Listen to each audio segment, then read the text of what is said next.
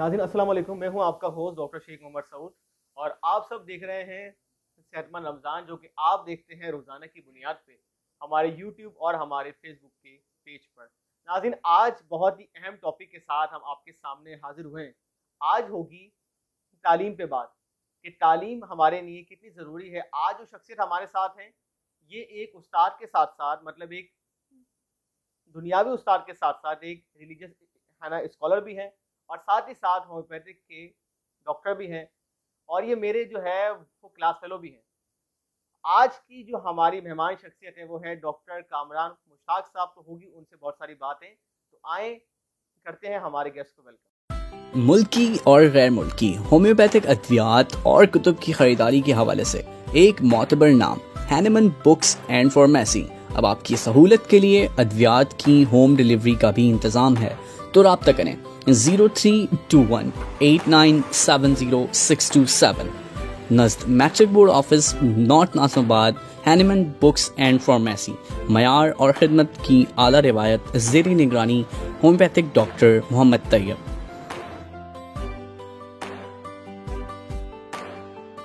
जी कामरान साहब अस्सलाम वालेकुम। वालेकुम अस्सलाम। अच्छा आप सबसे पहले तो ये बताएँ कि आपके रमज़ान जो है वो कैसे आपका गुजरा रमज़ान सबसे पहले तो मैं शेख मोहम्मद सऊद और इनकी तमाम टीम को शुक्रिया अदा करता हूँ और आपके तमाम काविशें जो रमज़ान मुबारक में इतनी मसरूफियात के बावजूद हम निकालें आपका बहुत शुक्रिया कि आप ये तमाम काविशें करें आवाम के लिए भी और इस बात पे भी कि आपने मुझे मदू किया। आपने सवाल किया रमज़ान मुबारक के हवाले से तो अल्हम्दुलिल्लाह रबालमीन बहुत अच्छा रमज़ान गुजर रहा है और कोशिश है कि पिछला लम्हा बेहतर से बेहतर बना दिया जाए अगले लम्हे के मुताबिक। ऐसे ही है। अच्छा खामना साहब, जैसे मैं आपको जो है जानता हूँ बहुत सालों से, मैं जानता हूँ कि एक एक जो है वो आपका इंस्टीट्यूट भी है और बहुत अरसे से आप जो है वो वो उसको चला रहे हैं। इसके साथ साथ आप तालीम के शोबे में पिछले बीस सालों से हैं और इसके साथ साथ अब आपने जो है वो रिलीजियस स्टडी भी की, आप अलहमदिल्ला रिलीजियस जो है वो स्कॉलर भी अब हैं। तो पहला सवाल आपसे मेरा यही आवाम के जहन में सवाल होता है कि मज़हब जो है वो हमें दुनियावी तालीम से रोकता है। इसीलिए आप देखें कि बहुत सारे स्कूलों में मज़हब को इतनी अहमियत नहीं दी जाती। इस्लामियत भी वो सोच रहे हैं कि आहिस्ता आहिस्ता हटा दें। तो क्या ऐसा है? अच्छा सबसे पहले इसमें आपने दो सवाल पूछे। पहला तो ये कि हमें दीन इस्लाम क्या हुक्म देता है? देखें हमारे लिए सबसे अव्वल तरजीह दलील जो है कुरान है उसके बाद हदीस है। और अल्लाह ताला ने कुरान के अंदर सात मकाम पर ऐसे ज़िक्र किया है जिनको एक से दूसरे से मुकाबिल नहीं किया जा सकता। अच्छा, अच्छा। अल्लाह ताला ने फरमाया सात चीज़ों को कि ये दूसरे के मुकाबिल नहीं है जिसमें से अल्लाह ताला ने एक मुकाम पे फरमाया कि वो शख्स वो लोग उसके मुकाबिल नहीं हो सकते जो नहीं जानते। जानने वाले ना जानने वाले के बराबर नहीं हो सकते। तो लिहाजा ये कि जो शख्स इल्म रखता है वो कभी बराबर नहीं हो सकता उसके जो कि इल्म ना रखता हो। कुरान हमें खुद दे रहा है तालीम। इसके अलावा आप सल्लल्लाहु अलैहि वसल्लम की मुबारक ज़बान से हमें बारह बारह इसकी तालीम मिली है और आपने अपनी पूरी ज़िंदगी हमें इसे तरगीब दी कि हम दीन को सीखें इल्म को सीखें इल्म को सीखने की तरजीह दी गई है। अब दूसरा सवाल कि आपने पूछा कि स्कूल सिस्टम में आहिस्ता हाँ। आहिस्ता लोगों का ये रुझान तब्दील हो रहा है इस्लामियात के टॉपिक को तब्दील किया जा रहा है या फिर ख़त्म किया जा रहा है तो यहाँ पे मैं थोड़ी सी आपको तवज्जो दिलवाना चाहूँगा कि यहाँ पे सिर्फ़ और सिर्फ़ ये ज़ोर इस्लामियत पे बिल्कुल ऐसे, आप बिल्कुल। ये देखें कि वो तमाम स्कूल सिस्टम जो हमारे मुसलमान ऑनरशिप पे नहीं चल रहे एडमिनिस्ट्रेशन हमारे मुसलमान नहीं है वहाँ पे क्या वो अपने दूसरे मजाहिब के त्यौहार नहीं मनाते? मनाते, मनाते बड़े ज़ोर शोर से मनाते हैं। यहाँ में भी है सारा वो बिल्कुल। को पढ़ाते हैं। इसके अलावा यहाँ पर आपकी इस बात से मैं रिलेट करना चाहूँगा उन वालदेन को भी कि बराह करम बराह करम अपने तमाम बच्चों को फ़कत स्कूल के नाम से उसकी बड़ी बिल्डिंग से दाखिल ना करवाएँ। क्योंकि आप जब अपने बच्चों को किसी स्कूल के हवाले करते हैं तो उस बच्चे की अखलाकी तरबियत उस स्कूल के हवाले कर दी जाती है। तो फ़कत सिर्फ़ इसलिए कि किसी स्कूल का नाम बड़ा है या बिल्डिंग बड़ी है ऐसा ना किया जाए। हाँ मैं इसको इग्नोर नहीं कर रहा हूँ आप इन तमाम चीज़ों को तरजीहत में दें लेकिन आप उस तरफ़ जाएँ जहाँ पे हमारे अलहमदिल्ला बड़े बड़े स्कूल ऐसे इस्लामिक स्कूल हैं जो अच्छी तरबियत इखलाकी तरबियत के साथ साथ काम कर रहे हैं। आप उधर तवज्जो दें। बिल्कुल ऐसे असल में एक जो हमारी आवाम का ब्रांड बन गया ना कि भाई ये बाहर का स्कूल है या बड़े वो है ना फखर से बताते हैं कि हमारा बच्चा जो मतलब बुक्स पढ़ता है वो जो है वही बुक है जो अमेरिका में पढ़ाई जाती है। तो एक वो जो है ब्रांड का तनासब बन गया है। जी आप मजीद इस पर कुछ बताना चाहिए जी आपने बिल्कुल सही कहा कि हमारे जहनों में ये तशनगी पैदा हो भी चुकी है और हमने कर भी ली है। सबसे पहले तो आम तौर पर हमारे जहनों में एक मैार क्या है? तालीम का। हम तालीम किसको समझते हैं? कोई भी ऐसा शख्स जो मिडिल पास हो लेकिन वो अच्छी अंग्रेज़ी बोल सकता हो तो हम हाँ, कहेंगे तालीम याफ्ता। ऐसे ही बिल्कुल ऐसे और अगर कोई शख्स का मैार ही है।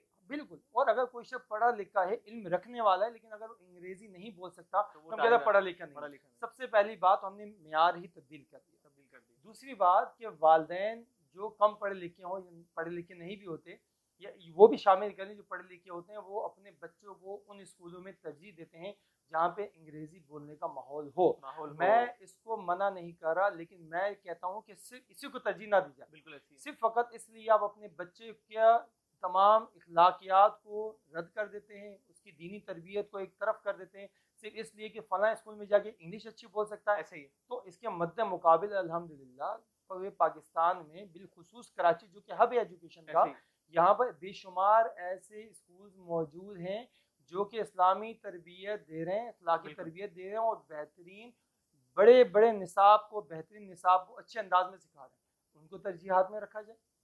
बिल्कुल ऐसी बहुत ही अहम बात आपने जो है वो बताई हमारे नाजीन को। अच्छा एक और कॉन्सेप्ट जो है लोगों का वो ये है कि जैसे कि अब तो बहुत इस बारे में अलहमदिल्ला अवेयरनेस हो चुकी है कि जो हमारी खातन हैं कि अब तो मैं देख रहा हूँ कि अलहमदिल्ला बहुत सारे लोगों का रुझान हो गया है कि वो जो अपनी मतलब बच्चियों को भी जो है वो तालीम के लिए भेजते हैं। तो आप बताएँ कि इस्लाम बच्चियों को तालीम से रोकता है? आपने बड़ी खूबसूरत बात की और बड़ा अच्छा नुकता आपने उठाया। ये हमारे माशरे में बहुत ही आ, कुछ ऐसे फरसदात जुमले हैं जो कि घूमते जा रहे हैं सदियों से। ऐसा बिल्कुल भी नहीं है। जब हमें कुरान और अदीस से तालीम हासिल करने की हुक्म मिला। तो इस हुक्म को ख़ास नहीं किया गया मर्दों के साथ। ये मर्द और ख़वान दोनों के लिए। हमें अच्छा, बारह वाज अदीस मिलती हैं कि मर्द ख़वान सबको ये हुक्म दिया गया कि इल्म हासिल करें।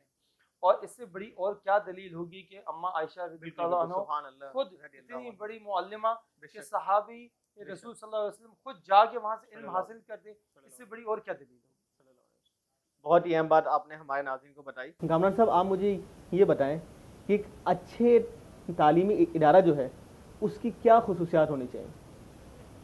देखिए अच्छा तालीमी इदारा बुनियादी तौर पे वो होता है कि जो सिर्फ़ बच्चे को निसाबी सरगर्मियों में मशगूल ना रखें। ठीक है। बल्कि गैर निसाबी सरगर्मियाँ भी शामिल हों। ठीक है ज़बरदस्त। और उसके साथ साथ बच्चे की अखलाकी तरबियत और दीनी तरबियत का होना बेहद ज़रूरी है। बेहद ज़रूरी है। अब यहाँ पर एक तमाम मैं तवज्जो दिलवाना चाहूँगा तमाम इदारों की जो ये तालीमी इदारे चला रहे हैं तमाम वो मालिकान। उनको करना ये चाहिए कि जो वो तालीमी इदारा चला रहे हो वहाँ पर हल्की सी तब्दीली के साथ वो अपने उन तमाम बच्चों को इखलाकी तरबियत और दीनी तरबियत दे भी सकते हैं। बिल्कुल और ये हमारे माशरे का बहुत बड़ा सरमाया है। बहुत बड़ा सरमाया जिस तरह से बच्चा एक स्कूल में आता है उसे पता है कि उसने सुबह आठ बजे आना है और एक बजे चले जाना है। स्कूल मालिकान को चाहिए कि वहाँ पर वो आधे घंटा एक घंटा इजाफी दे इजाफी दे उसमें वहाँ पर एक इथिक का पीरियड रखा जाए ज़बरदस्त एक कुरान हदीस का पीरियड रखा जाए ये डिवाइड किया जाएगा बच्चों की उम्रों को क्लासों के लिहाज से ताकि ये कम से कम तीस से चालीस मिनट जो इजाफी बच्चा देगा ये उसकी वो तरबियत होगी जिसको नस्लों को सुधारेगा। बेशक बेशक। बहुत अच्छी बात बताया आपने। अच्छा आपका जो इदारा है बहुत सालों से मैं उसको भी जानता हूँ आप माशाल्लाह एक इदारा मतलब चला रहे हैं जिसमें स्कूल भी है और कोचिंग सेंटर भी है। और अलहमदिल्ला मैंने आपकी बहुत सारी पोस्ट देखी कि आपने दीन के कोर्सेज भी उसमें बहुत सारे बहुत सारे जो है वो शामिल किए। तो मैं चाहूँगा हमारे नाजिन को बताएँ कि आपका इदारा एक तो कितने अरसे से और उसमें क्या क्या जो है वो फैसिलिटीज़ है? जी जैसा कि आपको मालूम है मेरा इदारा विन ग्रुप ऑफ़ एजुकेशन वो पिछले 26 सालों से तालीमी इदारे में अपनी अपनी खदमात अंजाम दे रहे हैं। इसमें कई शोबा जात हैं। हमारी इब्तदा जो हुई थी उन्नीस सौ छियानवे में वो इस तरह से हुई थी कि हमने सिर्फ़ और सिर्फ़ आईटी को फोकस किया अच्छा, था। अच्छा। लेकिन आईटी को फोकस करने के साथ साथ 2003 के अंदर हमने फिर इसमें तालीमी मैदान में भी कदम रखा और यहाँ पर बच्चों की तालीम के लिहाज से बेशुमार हम काम करने लग गए। और फिर जूँ जूँ ये वक्त आगे बढ़ता गया तो अप्रैल 2017 में हमने एक स्कूल का कायम रखा। अब स्कूल का क्याम रखने के बाद हमने उसमें बहुत सारी तब्दीली की। जैसे कि मौजूदा साल में अल्हम्दुलिल्लाह हमारे स्कूल के बच्चों का हमने निसाब इस तरह से तरतीब दिया है कि जो बच्चा हमारे पास तीन साल का मॉन्टेसरी में आ रहा है या साढ़े तीन साल का आ रहा है वो अगले सात सालों में अपनी इस तमाम तालीम को क्रिएटिविटी के साथ करते हुए एक्टिविटीज़ के साथ करते हुए एक अच्छी तालीम इखलाक और इंग्लिश बोलने के साथ साथ वो नाजर हिफ्ज मुकम्मल सुबहान अल्लाह सुबहान अल्लाह माशाल्लाह माशाल्लाह। तो इन तमाम चीज़ों को सिर्फ़ हल्की हल्की तब्दीलियों के साथ अगर हम रखें तो उस बच्चे के साथ वो डेवलपमेंट जो पेरेंट्स देखना चाहते हैं उसके साथ वो तमाम चीज़ें जो कि उसकी ज़रूरत है दीन की वो भी शामिल हो जाए बिल्कुल ऐसे बिल्कुल ऐसे कामरान साहब आप तो हमारे नाजनी के लिए एक मैं समझ रहा हूँ है आइडियल है। और आइडियल आप जो है, है वो इदारा बना रहे हैं। अल्लाह पाक आपको और आपके इदारे को मज़ीद जो है वो कामयाबी दे। और बहुत कुछ बातें हमें आपसे जो है वो सीखने को मिली। ये कामरान साहब का जो इदारा है विन ग्रुप ऑफ़ एजुकेशन ये लाइन्स एरिया के इलाके में वाक़ है। आप मज़ीद कोई मालूम इनसे लेना चाहें तो डॉक्टर साहब के फ़ोन नंबर आपकी स्क्रीन पर हैं। आप इनसे मालूम ले सकते हैं। एंड में डॉक्टर साहब हमारे नाजरीन को यूथ को कोई मैसेज आप दें ताकि वो कुछ आपकी बातों से मज़ीद सीखें और आप रखिएगा अपना बहुत सारा ख्याल। आपसे मुलाकात होगी कल फिर इन अल्लाह हाफि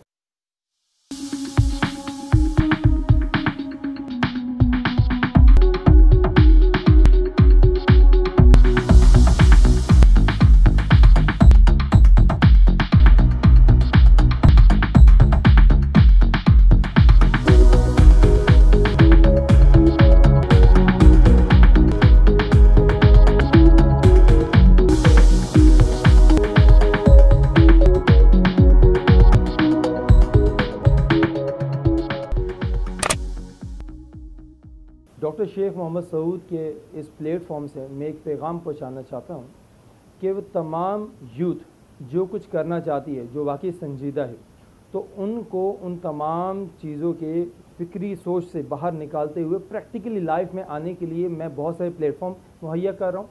अगर आप कोई भी सोच रखते हैं आगे बढ़ने की, इस तालीमी मैदान में, या फिर आप देखते हैं कि आपके अंदर कुछ सलाहियतें हैं, लेकिन आपको प्लेटफॉर्म मुहैया नहीं किया गया तो मैं इनके प्लेटफॉर्म से खुली दावत देता हूँ कि आप मुझसे रबता करें। मैं इन ताला एक बेहतरीन प्लेटफॉर्म ना सिर्फ़ मुहैया करूँगा, बल्कि आपको बाकायदा तौर पर ट्रेनिंग दी जाएगी ताकि आप अपने अपने ख़ानदान के लिए एक बेहतरीन, मज़बूत कंधा बन सकें। तो आप आइए, मुझसे रबता कीजिए। इन आपको बेशुमार ऐसे प्लेटफॉर्म मिलेंगे जहाँ पर आप अपने ख़ानदान को बड़ा मज़बूत रख सकेंगे।